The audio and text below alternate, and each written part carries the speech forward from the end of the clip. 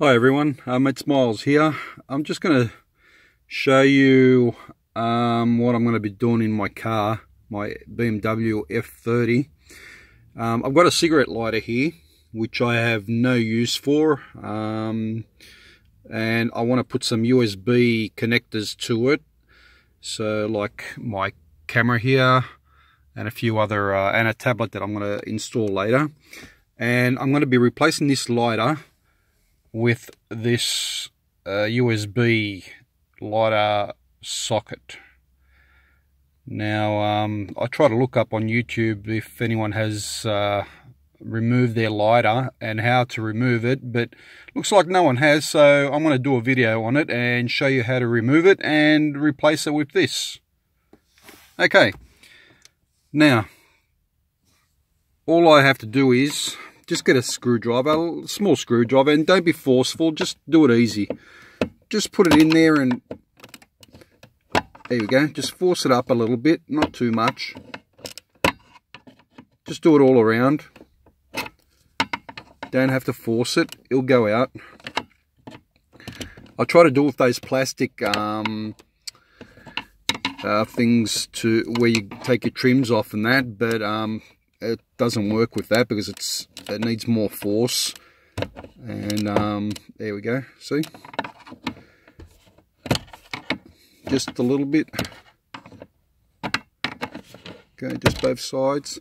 Now I'll try to take it out with my hands. Just wiggle it around a bit. Do it a little bit more with the screwdriver. Just be careful of your trim. There we go make sure you don't damage your trim around and that your plastic. But if you do it nice and easy you won't um, make any markings on your trim and things like that. Okay here we go. Should be coming out very very soon.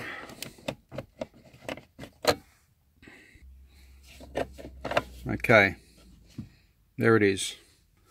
There's the hole down there two wires going to it. The red is a positive, the brown is a negative, I think. So I'm going to test it first before I connect anything. And on uh, this one, it's already got the positive and the negative, so you can't go wrong. I got that from eBay for a couple of bucks. And normally, I even got the little female connectors for it. So I'll be connecting it now I'll need two hands so when I connect it I'll show you exactly how I connected it and how I put it back in. Okay, I've put these suckers on. Took me a while because they're very, very, the plastic on them is very, very strong. So I had to cut a bit of the plastic off. Very strong and I advise if you're going to put something in any connectors? Buy some new ones the ones with uh, very very light rubber or something because these it took me a while to put these on. It was a bum putting them on but anyway it doesn't matter. I've done it and um, now it's time to connect this bugger. Okay I've connected it. Plus to plus negative to negative just going to push this down into the hole. It's getting a bit dark outside, so I'm sorry about the lighting. I've got a bit of blood on me as well.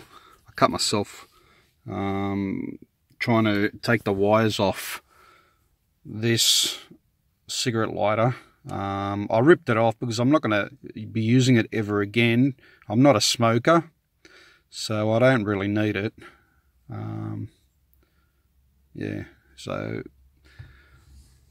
Okay, let's get back to this. See how this goes.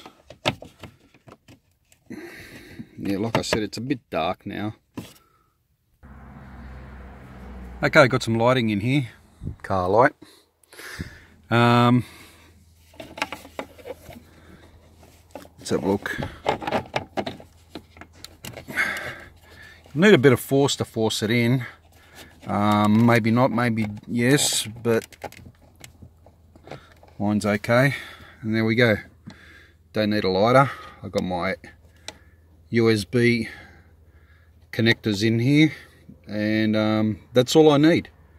Now I'm going to connect my camera up here. And I've got a tablet.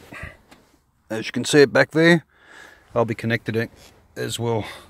Now um, as you can see I've got my tablet um, cable here it goes into the uh, headphone um, socket.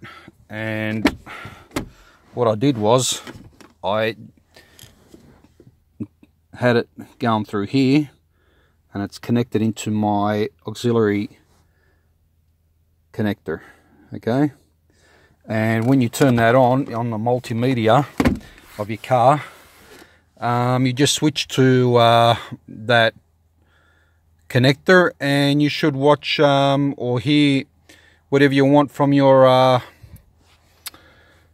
your tablet onto your car speakers without any problems. Okay. Please help by subscribing liking commenting um, like to hear your comments on this. Um, should I have done it like this or should I have done it differently? Um, that's the only way I reckon it should be done because I don't need a uh, cigarette lighter and that's it. Thanks for watching. See you next time.